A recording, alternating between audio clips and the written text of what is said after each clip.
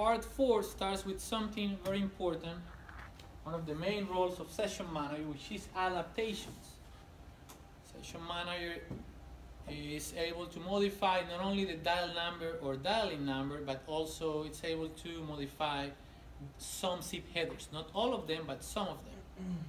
Let me actually go to, ah, I'm not gonna go to full screen, this takes a lot of So, not only allows you to modify the uh, dialing dial number, and actually this should say dial slash dialing you know, because it allows you to modify both the DNIS and the ANI. Okay, so it's not only the dial number. But not only that, but it also allows you to modify the SIP message format, which means that it allows you to modify certain SIP headers.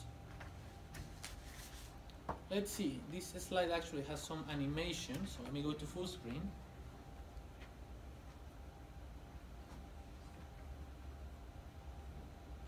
And this just it's kind of a simple animation, just showing you why would you need to adapt a number. So in this case, session manager receives a request with this dial number, and if session manager routes the request based on a routing policy to a destination, but if the destination is expecting a format different, you know, then the destination is not gonna doesn't know what to do with that because it doesn't comply with the type of format that destination is expecting. So that would be an example of why you want to adapt the number before you send it to the final SIP entity, to the SIP entity as destination. You see, so in this case, you just apply an adaptation that modifies the number. It removes the zero and adds a plus 44 pretty much. And now the destination knows what to do with that number. So that would be an example of a digit conversion. Every time you want to apply an adaptation in Session Manager, you need to work with adapters, some adaptation adapters. The one that you see here in this page is a kind of a generic adapter that allows you to modify certain things. One of them is digits, as the name implies, because the name of the adapter is the digit conversion adapter. So you're able to modify digits, meaning that you can insert or remove digits. But not only that, but it also allows you to modify certain SIP headers related to domain names. So it allows you to modify domain names in the from, PAI, and history header and it also allows you to modify domain names in the request URI, contact header, to header, message account, and refer to header. Those are the headers that you're able to modify, period. If you need to modify some other headers, maybe you cannot modify them with session manager. But normally, these headers are the headers that you end up having to modify, you know? I said the first day that the SBC is more flexible when modifying headers. It allows you to modify more SIP headers than Session Manager does. Okay, so digit conversion adapter, that's the name of the adapter. Adaptations sit here, right before SIP entities, right, and after locations. The reason why they're there is because when you create an adaptation, you need to assign it to a SIP entity. Otherwise, you did nothing. So you create your adaptation and you assign it to a SIP entity. So that every time a call goes to that SIP entity or comes from that SIP entity, the adaptation is invoked. And it really depends if you configure the adaptation as an incoming adaptation or outgoing adaptation. And that's what we're going to be about to see. Well, not yet. But here's a slide where you get to see a lot of adapters that Avaya has to integrate with other vendors. Again, the adapter that I show you, the digit conversion adapter, that's kind of a generic adapter that allows you to do some generic things. But if you're trying to integrate with a specific vendor, then you want to use a specific adapter, you know, for that vendor. Remember that every vendor uses SIP in a different way. For example, here's an example of how you would to or what adapter you would need to do if you want Manager to connect to the Nortel PBX, the CS1K. So you would have to create an adaptation invoking the CS1K adapter. And that's pretty much it. And then the adapter does some things. You, I mean, you don't get to see what's doing. All you need to do is configure it. But the adapter removes some things, adds some things, you know, to the SIP message, so that CM is able to communicate with the CS1K. Notice in this example, they, for example, tell you that if CS1K is trying to go to CM, in the CS1K, in the invite, there is this phone context equals cdp.udp that only makes sense for Nortel. If CM receives the invite just like that, CM is gonna get confused and doesn't know what to do with the invite. That's a Nortel thing. So session manager needs to remove that piece from the invite and that's what it does. That's what the adapter does and then you no longer see that portion in the invite. Now if it's going from CM to CS1K, session manager will add that portion to the invite so the CS1K understands the message. So that CS1K adapter that's drawn there on, on the pipe to communication manager, it, it does work both directions. Yeah. But it stays in that location, so before, so the call from, um, the VIA H three two three over to that CS one thousand, is it adapted before it gets to the session manager? Really, or at the front edge of the session manager? It, it could be adapted. You're meaning in this direction, right? Yeah, well, no, in, in that direction, it looks like it's on the way out of the session manager. On this way, it's That's up to in. you. Is You're- visual? You're actually the one who decides uh, where to do it. You could configure, let's say it's coming from the CS1K and going to CM, you know, that direction. Yeah, So you do the adaptation in, C, in session manner, and you're the one who decides if you want to configure as an inbound adaptation. So you would do it here, right before routing is evaluated in session manner, or as an outbound adaptation here, after routing has been applied in session manager. so these canned adaptations, like the CS1K adaptation, is it bidirectional? Or would, would you apply two adaptations? One for CM to CS and one for CS to CM? Would there be two app, if you want those two s- PBXs to talk to each other both ways, would you actually have two separate adaptations? Yeah. One associated to the CS1K, one associated to CM. Yeah. And they'd both be CS one thousand adapters. Uh, okay, those would be, that's a good question. Those would be, Because there's not really a CM adapter that converts things to CM, it's from CM, CS one thousand. yeah, you're right. You're right. So it should be the same, let me think about it. Same adapter. The same No. adapter that acts differently on each side, or? Yeah. So it, actually, I said it wrong. It's going to be one adapt, one adaptation, one adaptation associated to the SIP entity, CS, the, to the CS1K, but configured as inbound, inbound and outbound. That's that's what it's going to be. So every time the CS1K places a call, session manager modifies that, and every time session manager needs to send something to the CS, CS1K, session manager modifies that. So it's going to be one adaptation, one adapter, but that adaptation will have an inbound rule and an outbound rule. Okay. That's how it's going to work. Here we have a Cisco. That's wrong. That's immoral. That's a Cisco phone powered by Avaya. but this is a little bit different. You're just mixing stuff here because what happened is that they just load SIP firmware in that phone so that it can register them with session manager. You know? another thing, another thing is having a Cisco PBX trying to communicate with session manager. That's thing. That that's when you need the adapter. So And let's see why some of the things that the Cisco adapter does is let's see.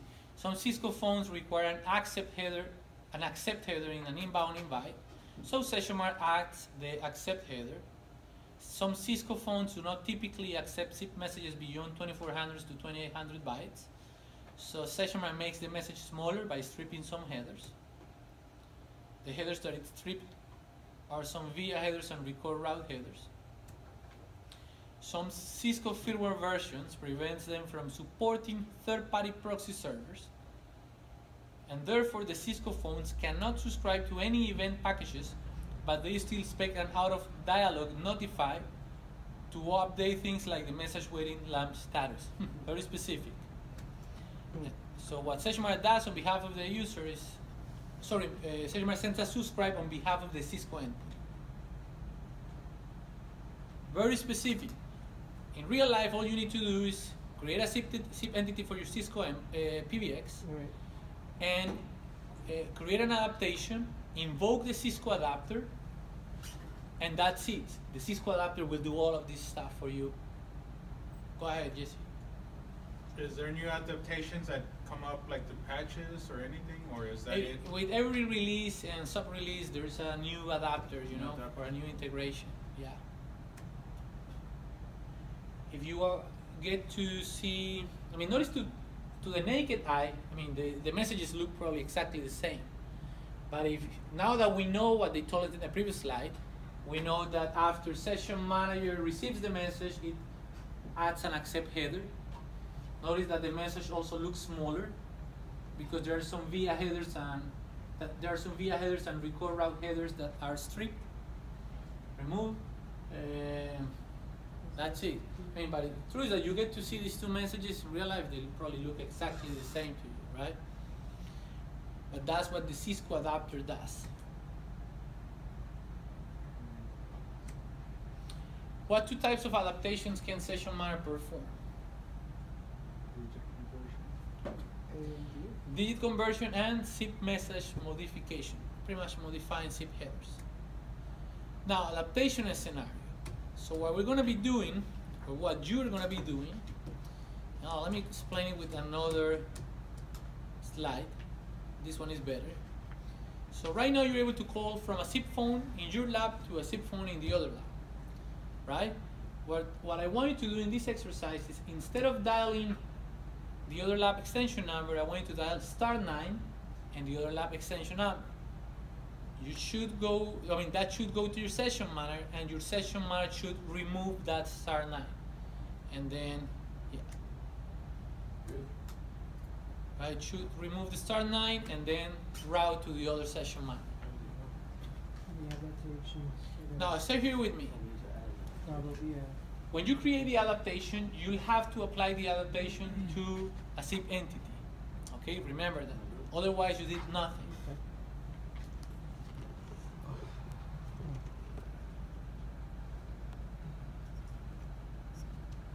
Now, adaptations. You go if you want to create a new adaptation, you go there, click on new, and here's where you specify the adapter. Uh, you don't see my cursor, but you know, new model name is where you specify the adapter that you want to use. In previous releases, believe it or not, you had to type the name of the adapter. That was painful. Because imagine, for example, the digit conversion adapter. Oh, It had to be capital D, capital C, capital A. And chances were that everything was well configured, but there was a misspelling Yeah. in that name, and then nothing would work. Now Avaya has a drop-down menu, as it should have been all the time, where you select the adapter from the drop-down menu. Now, this is one of the most important slides with adaptation, so uh, pay attention here. When you configure an adaptation, you need to decide if you want to make it work as inbound or outbound. Inbound for call, calls, uh, if it's inbound, it's a digit conversion for incoming calls to session manager. If it's outbound, it's a digit conversion for outgoing calls from session manager. Well, it doesn't need to be just a digit conversion. It could be a, dom- a domain name modification. But again, you could make it work as incoming for calls uh, going to session manager or outgoing for calls coming from session manager. The important thing for you to know is that if you make it work as incoming, the adaptation is applied first, and then routing is applied. On the other hand, you make it work as outbound, you know, outgoing, routing is applied first, and then the adaptation is applied. Okay? I mean, an easy way to remember this. Just remember that routing is in the middle. What I'm saying is that if you have your session manager here, come on.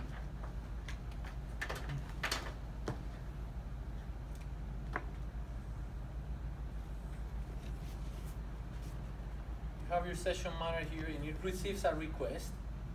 The first thing that is evaluated is an incoming adaptation.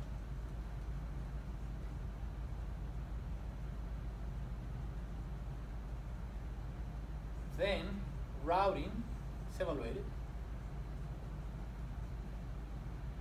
And then an outgoing adaptation.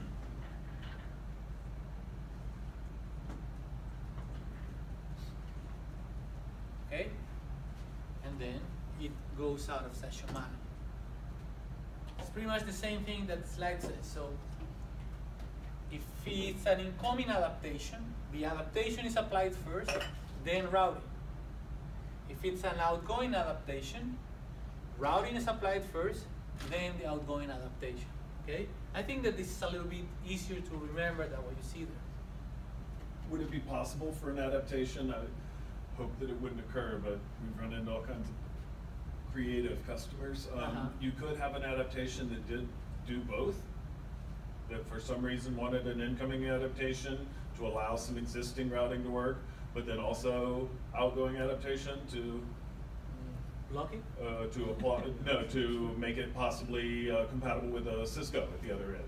Yeah. So, I mean, so there could be incoming Yeah. adaptation to change what you're gonna route, because that would change before routing.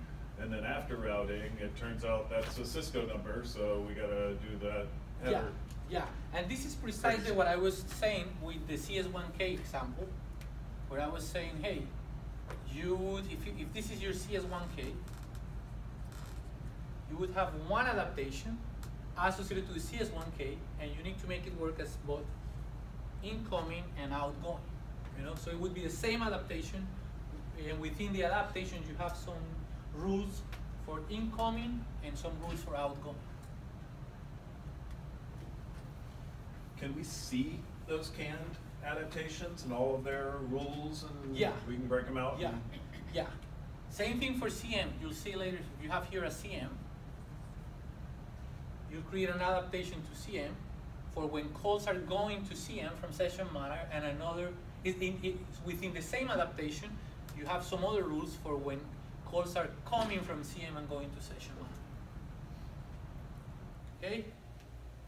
Hmm. Now,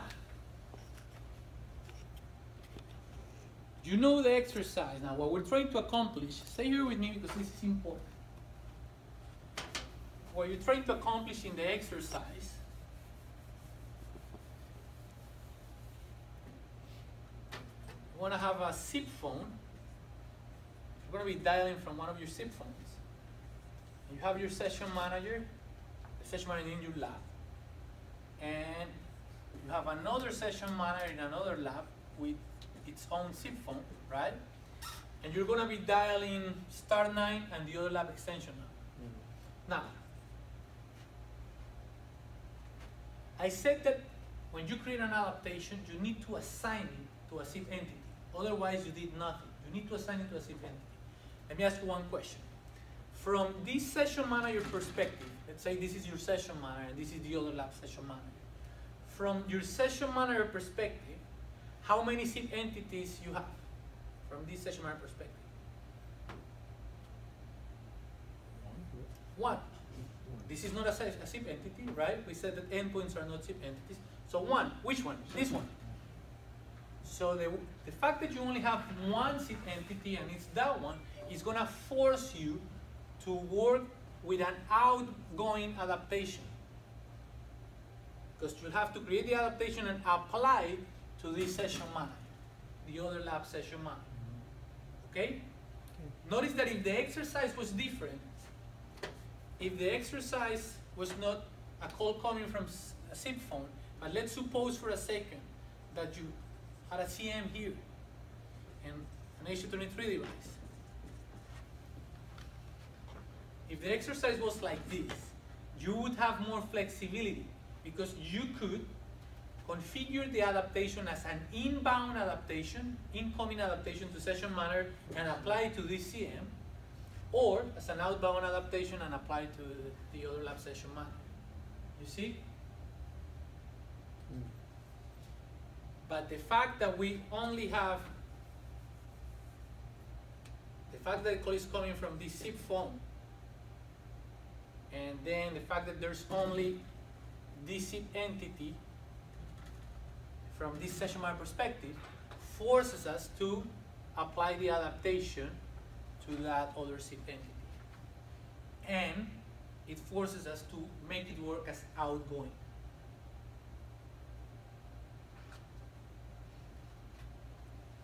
Make What- sense? Or not really? Why wouldn't you be, I mean, wouldn't it be easier just to do it on the inbound of the SM1 there, or the left SM? Yeah, it would be easier. You're absolutely right because I would be doing it before routing. Right. But since I have to apply to a SIP entity, I cannot say it's inbound and there's not a, this is not a SIP entity, so I cannot say for all the calls coming from this, Oh, oh, You I'm know? sorry, it's not the CM, it's the SIP. yeah. So that's why I say that in the exercise, we're forced to make it work as outbound. But if this was CM, it would be different because you're absolutely right. If this was CM and this was an H23 phone, now I could say I'm gonna make it work as inbound and say all of the calls coming from this CM are gonna be evaluated to see if the digits need to be modified. And yes, it would be easier because I wouldn't need to create a new dial pattern on session manager because routing would be evaluated after the adaptation takes place and removes the star nine.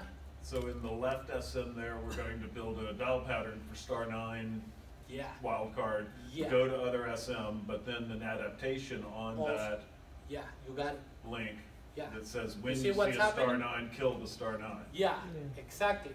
So, and you got it perfectly. So now, Ugly. since it's gonna work as an outbound adaptation, and now you know that for outbound, routing is applied first, and then the adaptation is applied. So you're gonna have to create a new dial pattern, starting with star nine, that makes session manager route to the other session manager, and then the adaptation is gonna remove the star nine. If we had the flexibility to make it work as inbound, we wouldn't need to create a new dial pattern because the conversion, the, the adaptation would take care of that star nine, it will remove it, and then routing would be applied. And you already have a routing policy to go to the other lab. You see? You see the, the, the difference? So we wouldn't need to, we wouldn't need to configure an incoming adaptation in order to receive There the is no, an adaptation only applies to an entity link. To a So SIP there's no- entity, to a SIP entity. To a SIP entity, so there's no, that incoming isn't a SIP entity, it's a SIP endpoint. So we don't have anything to apply it to. It'd be nice to be able to put it over there, but there is no entity to apply an adaptation to. It's just a phone. Yeah. Okay. So you, you have to make it work as outbound, Okay. and you'll have to create a new dial pattern associated to the existing routing policy that you have right now configured to go to the other. SIP entity. Okay? Let's give it a try. Go to page SIP entity. 26, and it's gonna guide you through configuring the adaptation. Okay. Mm-hmm. And twenty-six, so, mm-hmm. limits, routing, Adaptations, adaptations, new new, adaptation, strip digits. Capital S, capital D. Capital S. Oh, strip digits, Yep, duh. digits, capital S, capital D. okay. Mm-hmm, Uh, module name, you wanna use the digit conversion adapter. I'll see that. Yep. What about modular parameter type, or just leave it blank? Oh, that's fine, No, leave it alone, okay. scroll to digit conversion for For outbound, calls yep. from F seven. Put a star, Matching pattern is star nine, star nine, minimum six, maximum six. right, cause that's gonna be a six-digit number when that gets added. You wanna delete the two digits. Delete the first two digits, that's, to modify its destination. and Destination, then click commit. commit, Suicide. suicide. Navigate to element, routing, SIP entities, Okay. SIP entities. Mm-hmm. Click on your neighbors in session manager. Let's take our neighbor behind us. Apply the adaptation. Ah, look at that. Strip digits. Mm-hmm. Click commit. That was fast.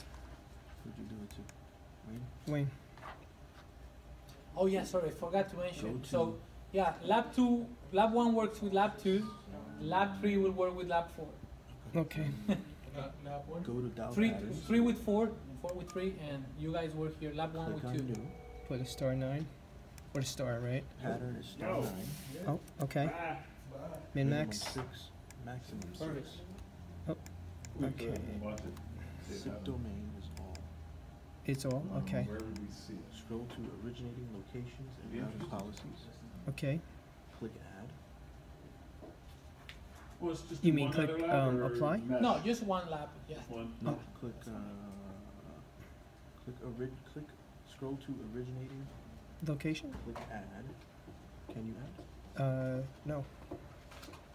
Actually, try another lab and you'll probably see that you will need to now dial, uh, use another dial pattern, something like star nine. Scroll to Three, originating star nine, two to differentiate, and right? Yeah, we'd have to move one digit over. Yeah. Let me get back out. Let's Yeah. go back in. I'm in routing. Who Routing wishes we still had Routing policies. DCS between Oh my separate Ah. lord, PDFs? Or Routes the SM2. TCS, what was the- No. Oh, just the do new? links, so-called TMZ, TCS. At the bottom of the signaling groups? Um, Oh, I guess you just wanna Insanity. apply the selected routing policies to all Third, the second originating page of locations. signal. So go back to dial pattern. Lord, hops, and all that crap. I would just be crying. I'd get Go through it, to- but that where's was our what I star nine? Doing. Right, I got, I got I don't know. good We didn't. I don't think we committed. have a Oh, you know what? There's Let a me see that step again. missing in step twenty-three. Star. After nine. twenty-three, it says apply selected runables to all originating locations. Yeah, that was- Uh, actually, that's not, it's missing the one where you add Yeah, all the originating locations, yeah. So, yeah, so, yeah, so hit add right there, you see it? There you go, Got it. Okay. and then Click- click, click them all, Apply. Yeah. Yeah. and then, How uh, about routing policies? Three? Three, two, to all originating. It is So- so originally. leave- Don't worry about routing Okay. policies. No, I think- Hey, thanks. And that's it. Hit select. Yeah, Alright, so let's you figure out have what to we select the entries from both. Okay, so cl- select routing policies, everything. Okay. and Commit, There you go. so there's star nine. Practice making calls to your neighbor's phones. So- Star nine, twenty-two oh one. There we go. Hit down. Two, star three. So since we, since we selected all originating, can probably dial star nine thirty-two. Oh yep. Let's try.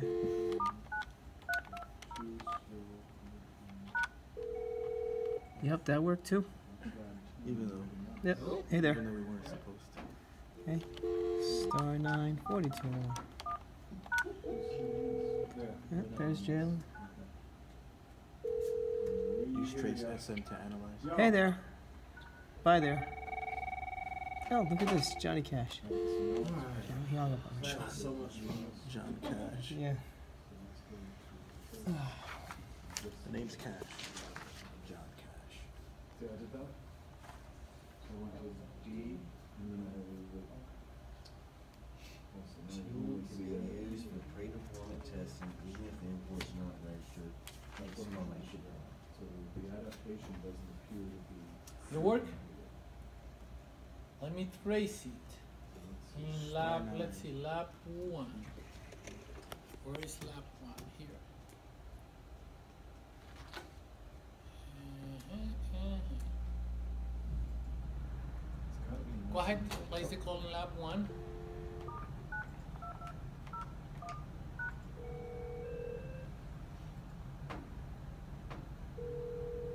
What? What's going on here? You're doing Yeah. something wrong. I mean, it's working. Well, then it's right wrong. It is that work? Notice what's going on. you're sending it to your CM, your own CM first, Really? and your CM says, hey, there's no one with that. Uh, your CM says not found, and then you re- you're sending it then to lab four. You wanna know why? Oh, wait a second. The only thing I see that's different is that for the SIP domain, we have it set to all as opposed to converge1.com. Would that make a difference? No. Well, Well, CM's downstream star, Alright. there's a dial access Oh. so it expects three digits. right, but we said. No, no, no. But the problem is not in CM. I mean, the problem is that you're sending it to CM. The so- the call is coming from a SIP phone. Let's place that call again. I'm tracing again. Okay. Let me see. Can you see there? Yeah, turn it off. Can't see squat. How you sending it to CM? Look at Just this. keep calling me though. Ah, God, it's Good. blue. How you sending it to CM? What happened? It's just blue and it's hard to see. Oh, okay. Try it again. There we go. One more time. Oh, I know why. We'll give a number change. I know why too. I mean, Let's I know in that do you, not you do not call misplaced probably the, the dial, the new dial pattern. Yeah, But the, the new dial pattern is, we, Star nine. we, we selected all, so it's, it's going session manager to CM. We should have just selected route to CM two, SM two. We yeah, selected all. that's why it's actually working to all of the labs. Yeah. Yeah. Because you have you try first one. If it doesn't work, you try the other routing policy. Then you Oh. try right. That's what Alright, you have so let's- configured. so- You changed it? Okay. And it's okay, you know why? Because the step in the that's the step that was missing in the book. Yeah. The war, the one where you need to Oh. specify the Right. Try it. Okay, here we go. Two, two. Master, is it here? We just can't find it in a trace. Um, we're watching the trace SM Uh-huh. with just sit message Okay. on, um, and we're not finding the adaptation. It's working. We know it's get, it's happening. that? but Yeah, I'm not I able see to it's find a a little point better. in the trace that suggests that that it's adaptation drifting. happened. Yeah. Yeah. Is So- it there and I'm not finding it? on CM. You- No, you'll see no, you it don't. only if you have internal messages, and you'll Who's see that applied AOI? egress adaptation. However, Okay, thank you. Yeah, even if you don't have that, let me actually. This could be useful. N minus nr minus ns n minus no n minus n Which a. we're not supposed to do. So notice that even if you don't have, can you see there? Kind of hard. Yeah, that's gonna be a bind. That inability to see the call trace details, whatever it's called. Yeah. In, uh, However, I'm about to show you a tool that's gonna that you're gonna like. But here in the trace, if you see the invite, Mhm. the request URI has the star, Yeah. star nine two two, right? As well as the, oh, there's not yet P asserted identity. When you see the invite leaving from, in this case, this session manager and going to session manager two, take a look at this. Even without opening the invite, I see that the to header still the same. However, the request URI was modified. Mhm. Let's open the message. What I'm saying is that request URI was modified. I no longer see the star now because of the adaptation. right? The to header, however, was left intact. Still has the star nine. Because session manager doesn't modify the to header or the from header unless you tell session manager to do so.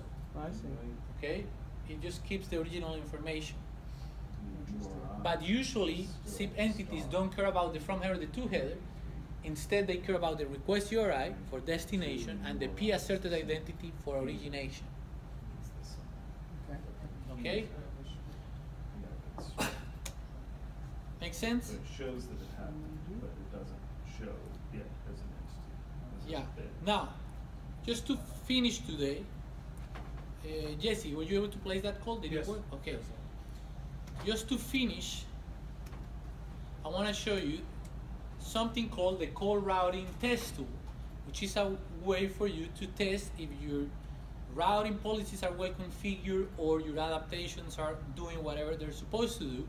It's just a test, but it's gonna show you the session mar internal uh, process decision, decision process, right?